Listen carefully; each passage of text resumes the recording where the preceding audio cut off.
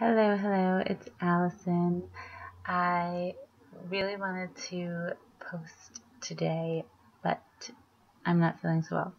So I figured I would make a video of me not feeling so well. So I'm putting it out there. I'm not always perfect. I'm not always peppy. I'm not always raring to go. Some days I am sinusy and congested and exhausted and uh, headachy pressurized, um, and my nose is red. So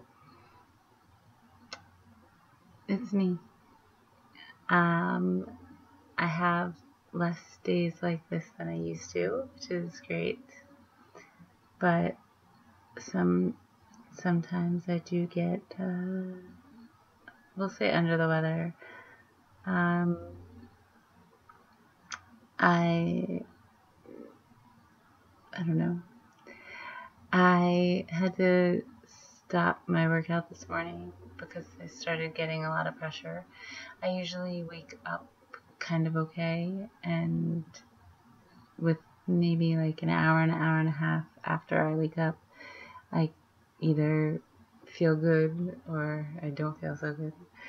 Um, so I did cut my workout a little short. I didn't do the um, beast abs. I just did body beast um, build shoulders.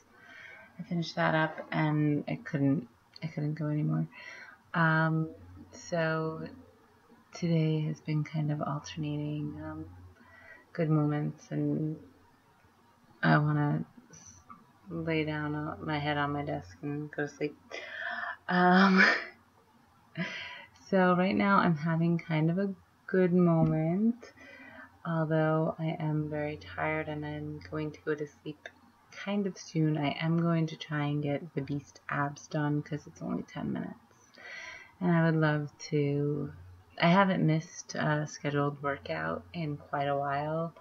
I can't tell you the last time I did, but I know that I did all of Insanity Max 30 and all of 21 Day Fix Extreme without missing a day.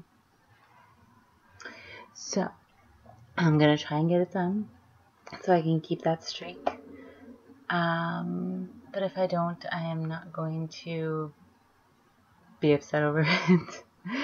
so, this is me. This is me not peppy. This is me a little sick and uh, I figured, hey, it's me, so you get all of me. Alright, have a great night. I hope you're feeling awesome, and send some of your energy my way for tomorrow. And hopefully I can pay it forward. Alright? Have a great night.